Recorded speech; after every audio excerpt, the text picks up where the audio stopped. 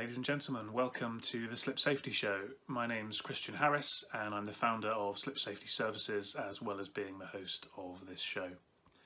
Today's episode is a really valuable and fascinating one with a good friend of mine, Darren Holmes, from the uh, largest uh, insurance brokerage in the world called Marsh, and we confirm that uh, point in the conversation. Darren heads up operational risk uh, and so he's got a wealth of knowledge and insight when it comes to uh, particularly larger businesses, but also gets involved in SMEs uh, and what they're doing to manage their risks on a day to day basis. We talk about, as you'd expect, the uh, coronavirus pandemic and what effect that's been having, but also we get into uh, how the insurance market has been changing over the last few years with premiums going up as the market hardens, uh, what that means for companies and how risk managers should be uh, approaching the uh, risks and opportunities uh, that that present, and lots of other topics as well around data and insights. Um, fundamentally, what Darren focuses on is the fact that risk management is all about driving the bottom line, and we start on that point and we finish on that point. Um, and so, you know, bear that in mind as you're watching and I think you'll get a lot from this one. Um, if you do find it useful, um, it would be great if you could recommend watching to uh, any friends or colleagues, and please do give us a subscribe as well. Um, that's always helpful for us because uh, it helps us to show uh, the uh, the YouTube and the podcast world that um, the content is uh, valuable, and it's helpful for you because you'll be reminded as and when new episodes uh, are released. So, with that, let's get into it and we'll join my conversation with Darren Holmes from Marsh.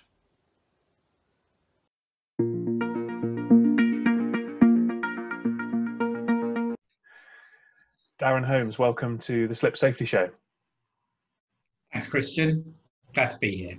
It's uh, great to see you, um, albeit uh, not face to face like we would uh, would normally uh, prefer to get together. But uh, we're all living in a world of Zoom nowadays.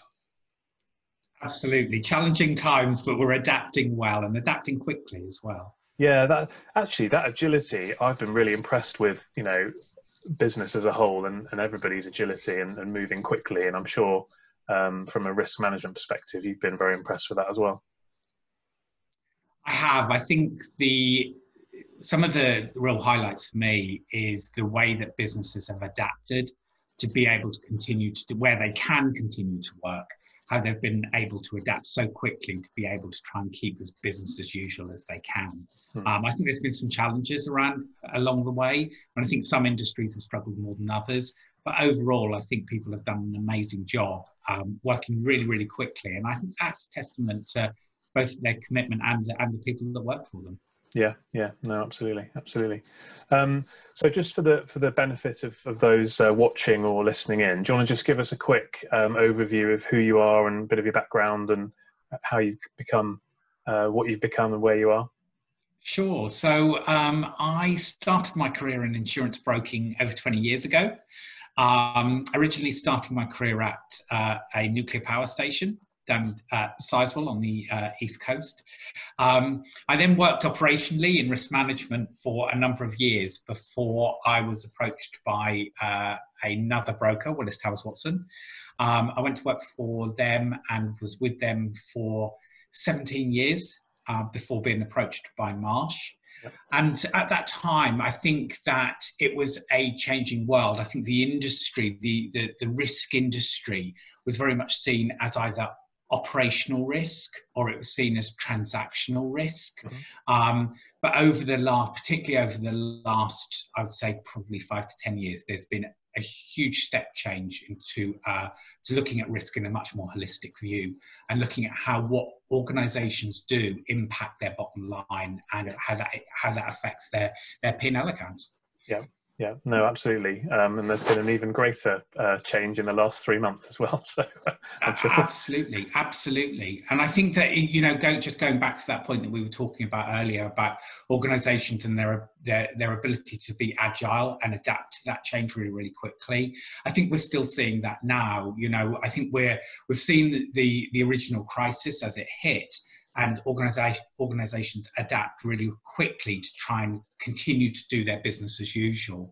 Yeah. I think what we've seen over the last um, probably last four or five weeks is how do we now maintain that and how do we prepare to get back to as normal as we possibly can and what can we learn from you know from, from the last 12 weeks as well and how can we apply that learning to our business moving forward mm. um, and you know i think the world's going to be a different place i think the world's certainly going to be a different place from, from a risk perspective mm. um, it's interesting when you look at you know the pandemic how many people ever thought that that would come down the line how many how many organizations ever thought that a pandemic was going to be the thing that really challenged them hmm. um, in this decade yeah it's it's crazy isn't it if you think about what, what's happened and mm. the fact that we just could yeah i'm, I'm sure some people uh, did see it coming but i don't think anybody really realistically thought it would it would happen to this uh, to this extent I think you're absolutely right, and I think it raises a whole question around risk perception, and the and the the difference in organisations and and how they perceive risk. And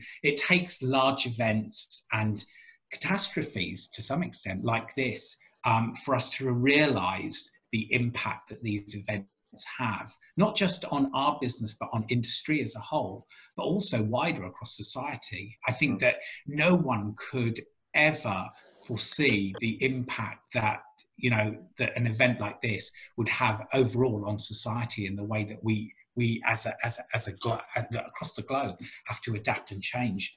Um, yeah it's uh, challenging. But it keeps you keeps you nice and busy and engaged and solving interesting problems. So uh, there's there's always a plus side.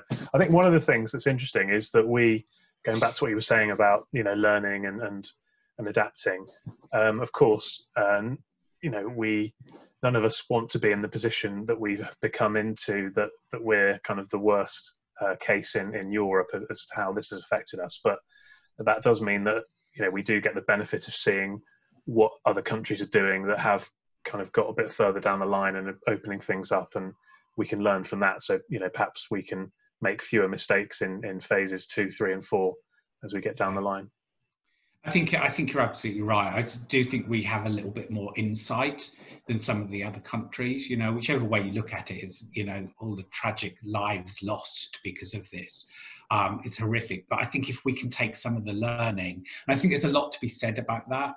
Um, you know, if you look across risk in a wider context, irrespective of the you know of the pandemic, but if we look at risk from um, from all of the different events that have happened around the world if we could just spend a little bit more time in learning the lessons that came out of those and apply that learning to our business, we can actually make our business more resilient. And I don't think it matters in which context that you look at that risk, whether we're looking at a large environmental disaster all the way through to, you know, you know, to, to, to somebody slipping over.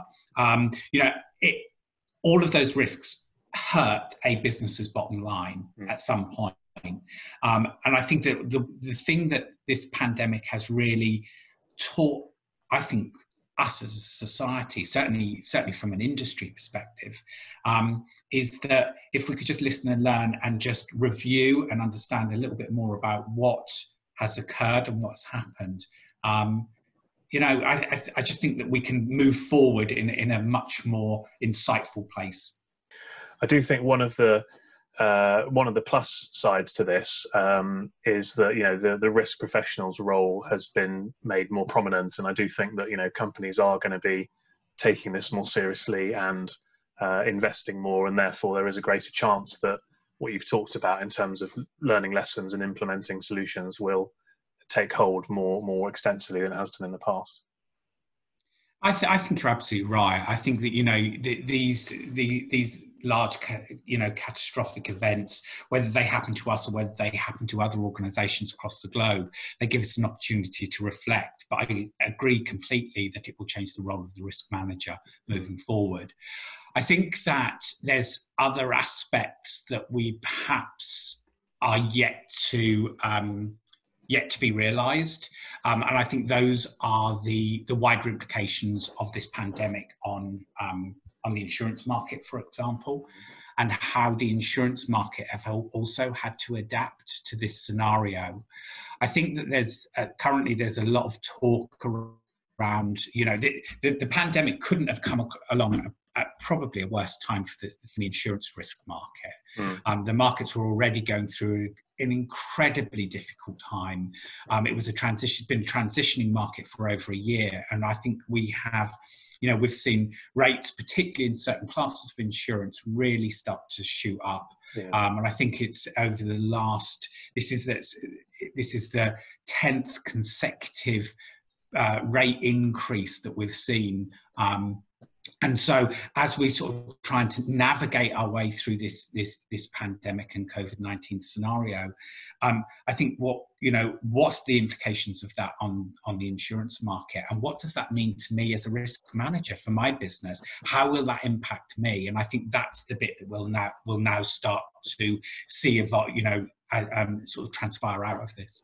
Yeah because i mean the insurers obviously haven't in lots of lines haven't been making any profit and therefore um, starting putting to putting rates up historically. But I mean, going forward, I guess there's going to be a lot of um, aspects of business, particularly thinking about safety and and hygiene and PPE and, and things like that, that um, insurers are going to be pretty uh, reluctant to be covering. So that's going to raise some interesting challenges in terms of what do what do clients do? What do you do as a risk manager to to navigate that if you can't get insurance or or actually could get insurance, but the premium is just so astronomical that it's um, not, not justifiable. Mm. I, I, I think I think you're absolutely right. I think if we look back at where the market was changing and what drove those market changes, you know, the wildfires in Australia, for example, um, last year had a, a, huge detrimental effect on the insurance market. Something that you know, you know, if if you look at the global risk um, if you look at the global risk sort of uh, insights that that come from from a lot of um, uh, analytical work, um, we know that sort of climate change, environmental, biodiversity, we know those things sit right at the top of those global risk on that global sort of risk register. Mm. But I think that if we look back over the last five years and the implication of those, you know, the, the floods, the hurricanes, etc., they culminate in, in a constant drain on the insurance market, a constant drain that just cannot be capital controlled. But what that does is you then start to see that feed through into other types of classes of insurance, you know, away from that cat and away from property, um, etc., away from sort of financial lines. And you start to see that filter down into things that, that tend to hit home more, you know, more closer, you know, motor, casualty, you know, employer's liability, etc. Um, and I and I think that what it does is it it, it requires organisations to take a much broader view of the way that they look at risk, not just from a control perspective, but as a total cost of risk perspective as well and start to understand what is it that that organization does what is unique to that industry that's actually driving the claims onto my book um, and what message does that send to the insurance market and how do i you know how do i give confidence to those insurance markets that i have this under control and i think that's where we're starting to see a real shift in the way that risk managers look at the way that they control both transactional risk and non-transactional risk so insured risk and, and non-insured risk mm. i read a quote from somebody um, i can't think who it was now but it said that um, you're not buying insurance you're selling risk which i think is kind of what you're saying you know your, your role is to position uh, as a risk manager position your your company in the best possible light so you can actually get the right terms. So you're looking at as you're selling yeah. the opportunity rather than it's a transaction coming the other way where they've got something you need and you you're just kind of buying it. You're absolutely right christian. Uh, i think that i think that it's been understood probably i would say you know last sort of five to seven years, I think businesses have been much more aware of the importance of being able to sell their risk to insurance carriers. But I think that you know, something like, you know, particularly in a transitioning market that we've seen over the last sort of like 12, 18 months, I think what we're seeing now is how will COVID 19 impact us moving forward what impact will that have on the insurance market? And what can i do as an empl- as, as a client to position myself as a risk of choice? Because ultimately that's what you want to do. You're competing in actually quite a, a quite a, a, competitive area. Mm. you know there's there's only so many markets that you can place your risk into. Um, which ones are going to offer me the best terms? And how do i leverage what i'm currently doing and use that in the best possible way to sell my story to give that insurer confidence that the premium that I'm paying them is going to be protected because I've got good operational risk controls in place. That's really where I think the, the focus needs to be moving forward. Yeah, yeah.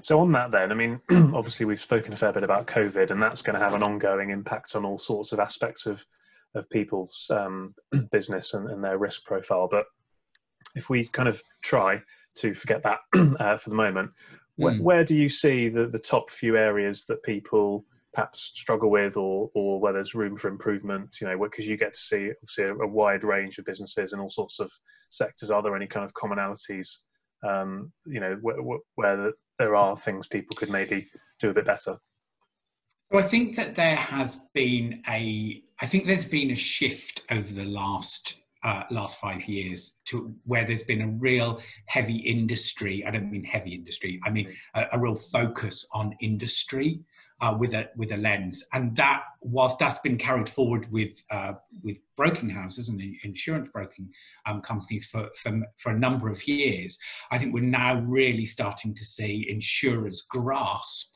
that that industry lens and start to ask questions about what is it particular about that industry um, that I can foresee losses coming out of.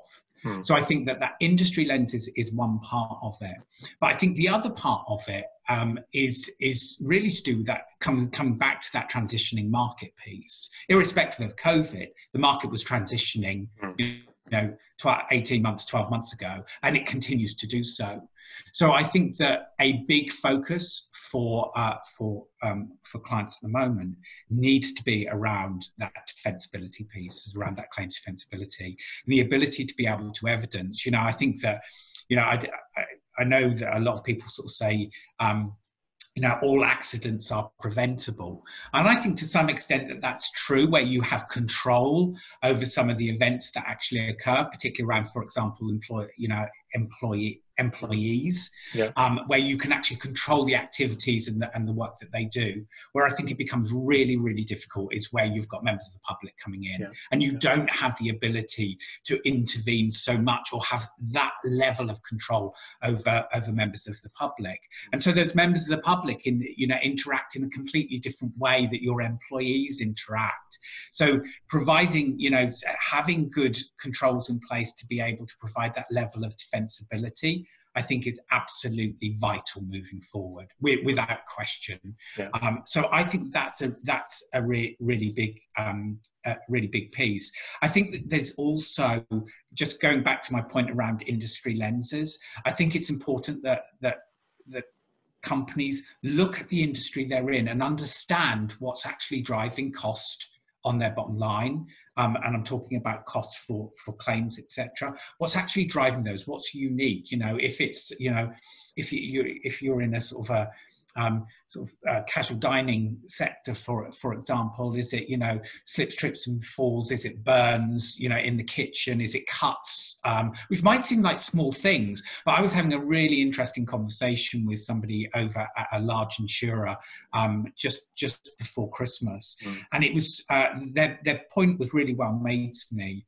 As a global insurer, their concern is not to do with individual companies, but rather the industries that those companies work within. Mm-hmm. And then when you look at the attritional losses across those industries that are driving insurance losses, mm-hmm. that's their focus. So this particular insurance company was I'm not so much bothered about what individual businesses do What I'm bothered about is the attritional losses for slips, trips, and falls, yeah. the attritional losses for manual handling, the attritional losses for noise-induced hearing loss. They're, that's where their concern is because when mm. you multiply that globally, it starts to become a massive, a, a massive cost to, yeah. to those companies. Mm.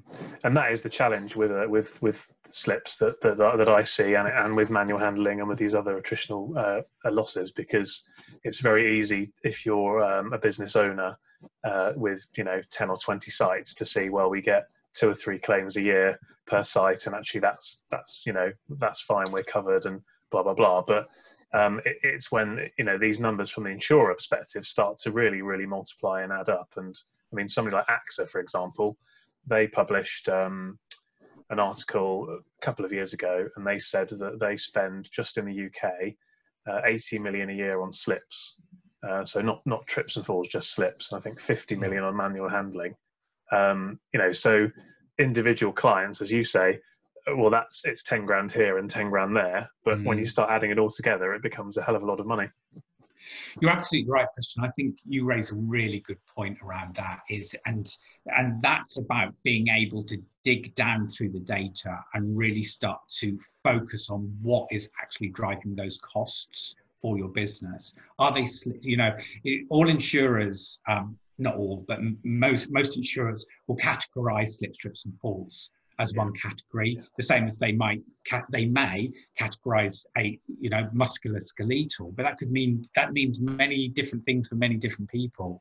But when you actually start to dig down even further, is it slips, is it trips, or is it falls? Yeah. If you then put an industry lens over the top of that, it really starts to help you understand where you can focus. And I absolutely agree with you. It's you know one or two slips you know um, a, a month even over a period of a year doesn't look like a huge amount you know across you know if you're an organization that employs you know 20,000 people mm. that doesn't look like a lot at all no. when you apply that globally yeah. that makes a massive difference yeah. and it is exactly that conversation that insure it's that picture that the insurer sees they don't just see it within the UK they actually see it globally across a book of casualty, workers' comp, property, etc. That's the bit that they're actually looking at. That's the bit that actually makes a difference and is driving the decisions that they make within their business. Mm.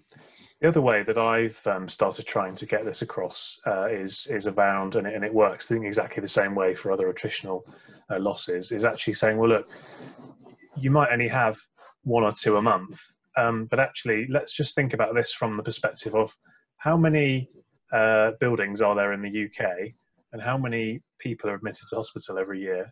You know, so they had a serious enough accident of whatever type that they go to hospital every year. And in the case of slips, you know, it's about 300,000 a year that go to hospital.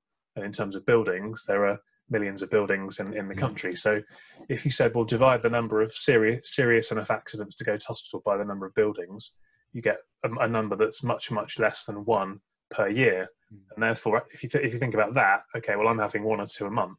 I'm way above average, and therefore, you know, I need to do something about this um, a bit more. And mm. perhaps my perhaps my um, my belief that one or two a month wasn't that bad is is actually wrong. Mm. Yeah, I, I, I, think you're absolutely right. I think the I think it comes back to the point we were talking about earlier about lessons learned. I think too often we focus on I think, and I think there's something right right in about what I'm going to say, and I can understand why companies do this, is that they they use data to decide where to invest time and effort to mm. drive down cost. Um, you know, so I've, you know, as a company in the last month, I've had five musculoskeletal um, claims and I've had one slip. I'm going to focus my resources, my time, my money, my people on addressing those musculoskeletal. The, the, and I absolutely understand that. That's about making data driven decisions about how you manage risk. I, I absolutely get that. But I think that the, there is a danger in those more um, sort of infrequent incidents which attritionally add up across a larger period are actually what is driving the cost of your risk. So there is a danger that you lose sight of some of the, the smaller issues um, I think the, I think it's also about looking at you know if, if you're using data to, to to make decisions, then you know link into other industry groups. You know your point around buildings. If you could categorize those buildings to certain types of building, you know, are, there, are they residential buildings where they have common areas and are the incidents occurring? Well, I think we I think as a, in the UK, we're very fortunate. We have access to a huge amount of data that's available to us to, to, us. I think what we need to be better. If I was a client, if I was working operationally uh, in a in, in for a business um, for an organisation, I would be looking at all of my data sources that I could possibly tap into to try and build a picture about what it looks like, not just what it looks like for me, but you know what does it look like for me. Now apply that across industry, apply it across region, apply, apply across um, segments, the size of business that you are, but then start to think about sort of applying it, you know, globally. What does that actually look like? Because if we look at the cost of slip, strips, and falls, for example, if you just say slips, if you look at the cost of slips um, attritionally across the globe, you know, for for insurers, that's what's driving their book. That's what's driving that that bottom figure. So I think there is a way that you can start and you can do that quite quickly. I think there's I think it's finding a balance between your investment in time with using data to make informed decisions, but actually then or do I apply that the time that I would spend on that on actually addressing this this this matter as, as a resource because we're still a limited resource. I think there's also a lot to be said around piloting work.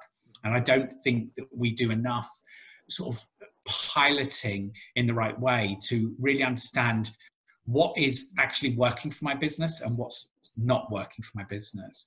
So, where organizations implement a number of, of, of interventions to address slips, trips, falls, uh, musculoskeletal disorders, whatever they are, but where these organizations are, are, putting those interventions in is actually monitoring which ones are working and which ones are not, yeah. and using data points that actually demonstrate that that it's having a positive effect. So not just using accident data, but also using sort of leading indicators like audit data to really understand, you know, I know we've had a conversation before around sort of slip resistance testing, and I appreciate that, you know, there's, there's a number of sort of like views around the, the, the sort of the purpose of, of slip resistance testing and, and does it actually, you know, does, does it actually hold any weight in court? Probably not so much in court, but actually, you know, using slip resistance testing as a leading indicator and then tying that back to the number of slips that occur within your business is a fantastic way, for example, to be able to use, you know, to, to, to drive down slips using leading indicators. Uh, that, that, I think that's a really great way of doing it. Yeah, I mean, I've, I've been uh, doing a lot of work, as, as you know, in, in, in um, sort of helping companies to get fit, fit and ready for reopening mm. after the lockdown. And I've been talking a lot about um, you need these leading indicators, not necessarily around slips, because that's not such a big uh, worry for people right now. But obviously, everybody's paranoid about being hygienic, and you can't be mm. hygienic without being clean. You know, it's impossible mm. to disinfect without being clean. So, how do you measure cleanliness? And there's mm. qualitative ways, subjective ways, and then there's quantitative ways uh, like measuring hygiene levels with ATP tests and various other things. So getting people to think about that, and it's not just uh, we need to be clean. Let's throw an army of cleaners at it. It's actually we need to be clean. Let's verify that and prove, as you said earlier, that the way the method we're using is actually working. So we're not wasting time by kind of doing stuff that isn't actually effective. I think we're on. The, I, I, agree with you, Christian. I think we're on the precipice of a uh, of a fantastic opportunity. I think as we come out of lockdown and we move forward, and whether the focus is on, um, you know, social distancing, whether it's on cleanliness, whether it's on, you know, picking up debris from the floor because that's what people keep slipping on. Yeah. The fact is that you know this will lead a fund. I think this will lead to a fundamental shift in behaviour We've already seen the shift in behavior around social distancing. Yeah. You know, you only need to walk into a supermarket now or somewhere that can be open to see how people are acting. You know, people won't sort of like come anywhere close to you. You know, mm. and, and people might make a joke of it, but we have actually change the behavior of mm. an entire society in a very, very short period of time. Mm. And I think that there is an opportunity for us to learn, for, again, learn from this and, and think about, you know, what does that actually mean as we come out of lockdown and we move forward?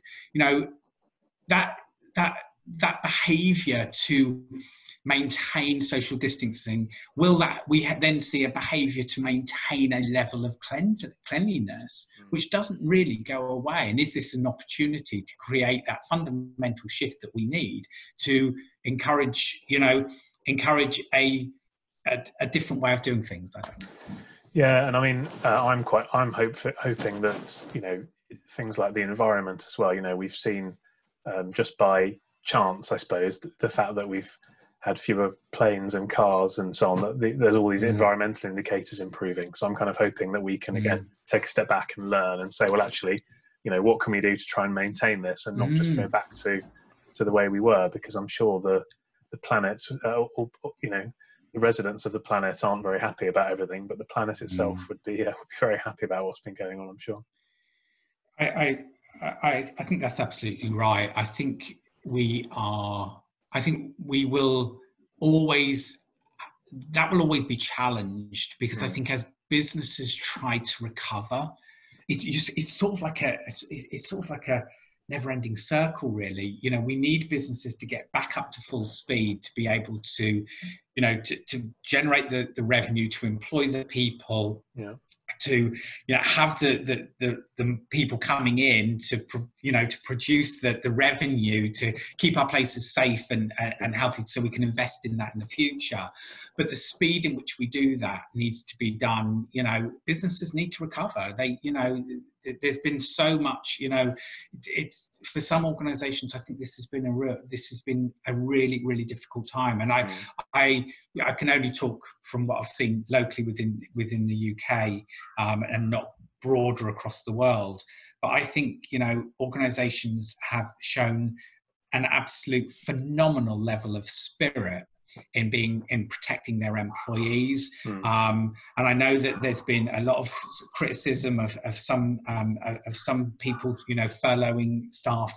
But this is about businesses trying to, you know, to protect themselves as much as they possibly can. There's always going to be those odd ones, you know, there's always going to be odd things on the side that we don't have the full picture. We don't know the history behind it. It's no. wrong to to judge every organization or or any organization really unless we know the full picture that sits behind it. So I think we have to be careful as a society that we don't do that.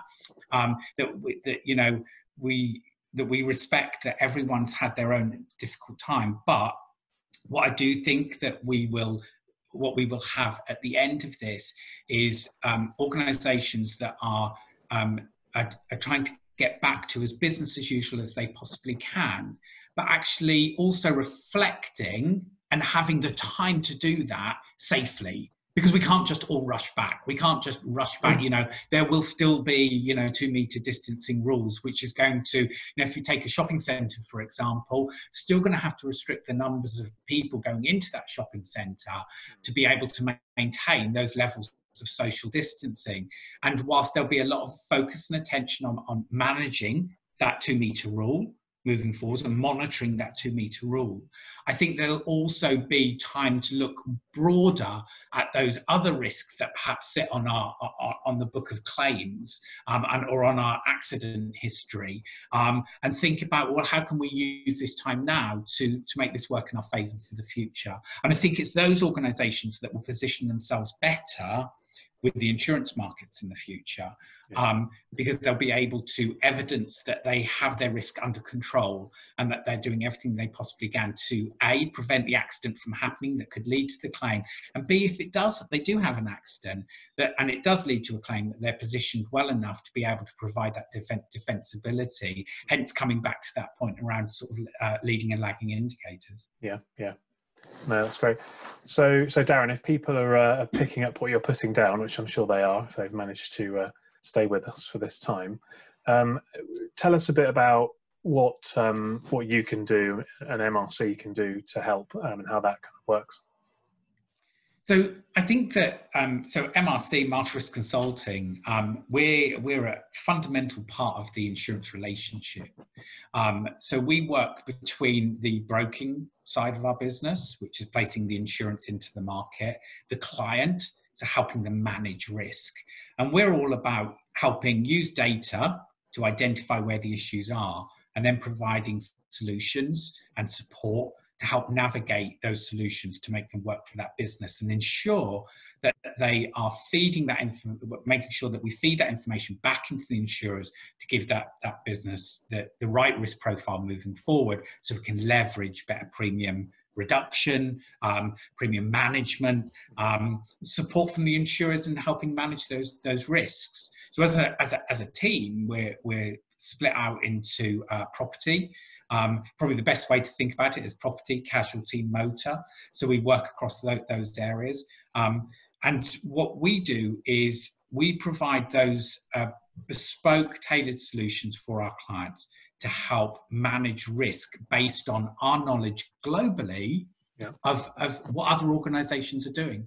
So, so we are, but what I think is really important and what differentiates us from a consultancy is that we are part of the, the wider risk management sort of portfolio. So it's mm-hmm. not just about managing sort of liabilities under the um, Health and Safety at Work Act, um, but it's also about looking at it through an insurance lens. So yeah. managing the, managing the civil liability, um, and then really f- using that information and feeding that back to the insurer to promote the client as a risk of choice um, in the insurance market, and overall manage down that cost of risk to allow more thoughtful and um, and beneficial reinvestment in that business to you know to continuously improve over a period of time yeah yeah no, that makes sense and do you do you just work for um, clients that marsh do does the insurance brokerage for or do you work for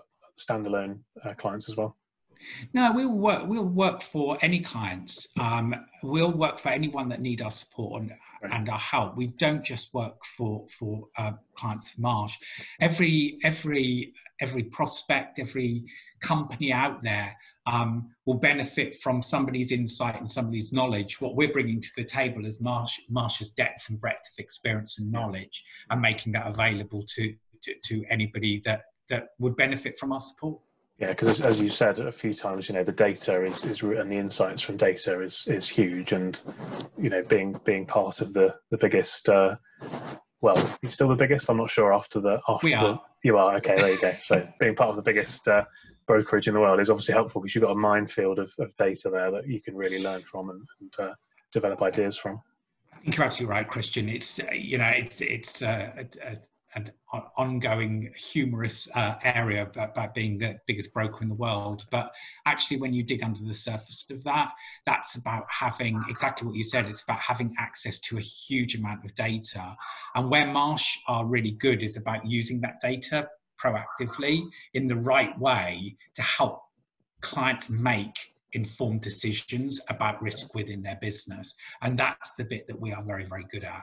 Um, so it's rather than just doing it because it's a nice to have, it's doing it for the right reasons that have a direct impact overall on that business and helps improve their P&L at the, at the, at the end of the day. That's what we're there, that's what we're there to do. Yeah, well, absolutely. absolutely, And you said that's one of the first things you said. It's all about the bottom line, and so you know that's uh, we've we've we've sort of mm. squared the circle and gone back to the beginning again, which is which is a good way of, of wrapping up. Um, how uh, what's the best way of people uh, kind of learning more or uh, getting in touch with you, or um, do you you know do you do blogs or any plugs? Uh, reach out through LinkedIn. Uh, so you can reach reach me on LinkedIn. Um, you can come to, to, come to me direct. If you go to the Marsh website, you can track me down. Um, uh, probably the best way is, is, through LinkedIn or through yourself, Christian. Um, yeah. You know, we've had a, we, have known each other for, for many many years. Um, so although you still, um, you still go for lunch with me, but that's a that's a That's another story. You still owe me lunch. We're going to have to wait until they open up know, to yeah. actually get it. No, I reckon what we'll do, I'll, I'll just, I'll, I'll, I'll send you an Amazon, uh, an Amazon package of some spam, and I'll have a tin of lovely spam or something, and uh, we can do that over Zoom. It's perfect. Excellent, brilliant. oh dear. Well, that's that's a that's a great way to finish. Um, an inside joke that nobody else will get, but. Um, thank you very much for your time, Darren. I know how busy you are, so I really do appreciate it. And I'm sure no, it's an absolute pleasure. Uh, I'm pleasure. sure everybody everybody has has really got some great insights and learning from that. So uh, so thank you on their behalf as well. And Brilliant. we will see you again uh, on the other side of lockdown, where we can go and have that lunch. Excellent. Thanks, Christian. Cheers. Cheers. Bye bye.